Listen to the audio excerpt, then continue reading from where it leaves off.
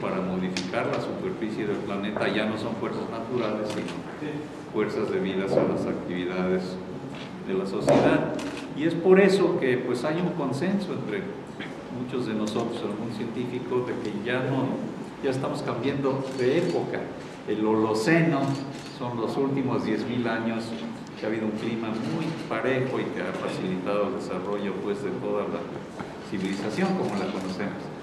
Pues la idea es que se está considerando formalmente es que ya estamos dejando el Holoceno y estamos entrando al Antropoceno.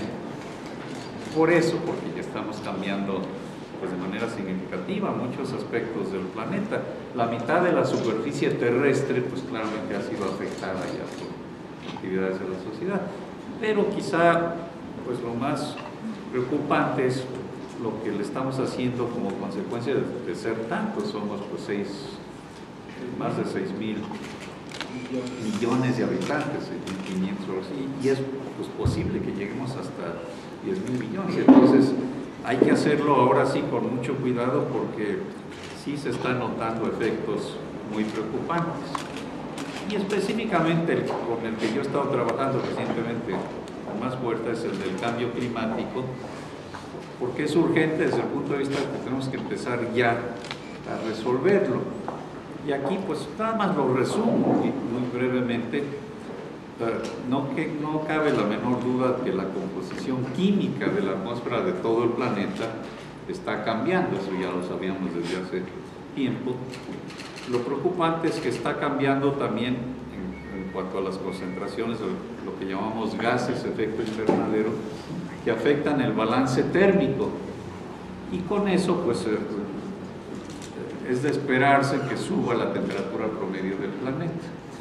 Pero más preocupante es, que este aumento parece no ser pues, muy grande, es de menos de un grado centígrado, un grado Celsius, pero por un lado puede llegar a dos o tres o, más grados si continuamos emitiendo estos gases, y por otro lado no es ese pequeño aumento, sino los eventos extremos del clima los que nos preocupan, inundaciones, sequías y pues ondas de calor, como las estamos viendo ya en muchas partes del planeta, eh, eh, incendios de bosques, etc.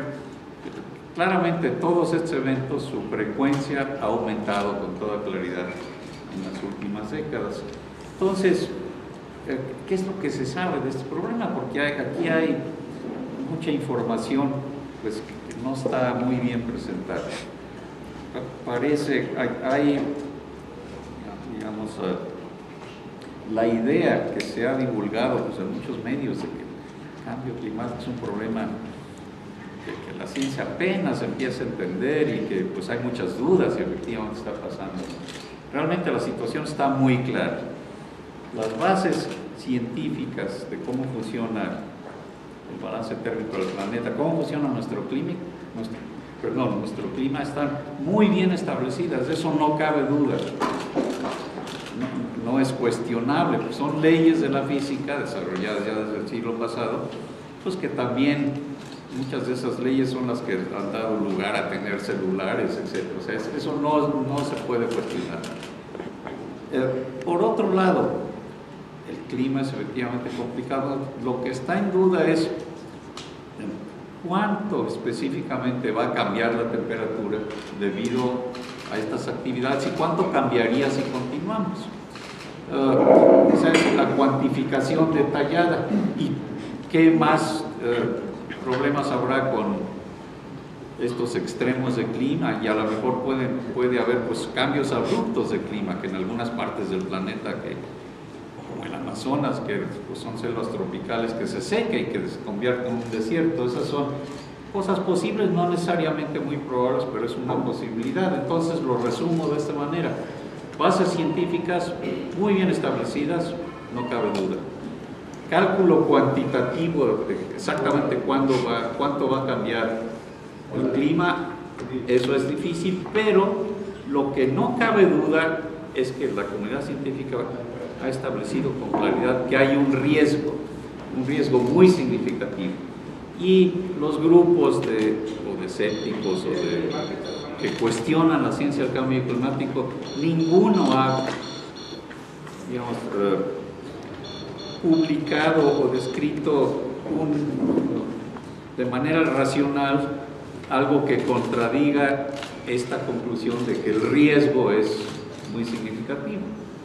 Y pero ya entonces la sociedad, esto es lo que dice la ciencia, la sociedad pues responde a este riesgo tomando medidas o no, dependiendo si se ponen o no de acuerdo. ¿Se, sigue destruyendo la capa de ozono? No, ese es el, hay, eh,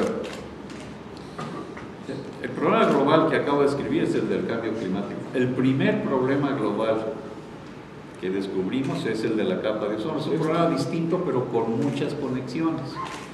¿Por qué? Porque el, pues la capa de ozono también afecta al clima y el clima afecta a la capa de ozono, pero en realidad eso, lo, la capa de ozono lo, que hace es protegernos de rayos ultravioleta que son dañinos para, la, pues para los seres humanos y muchas especies.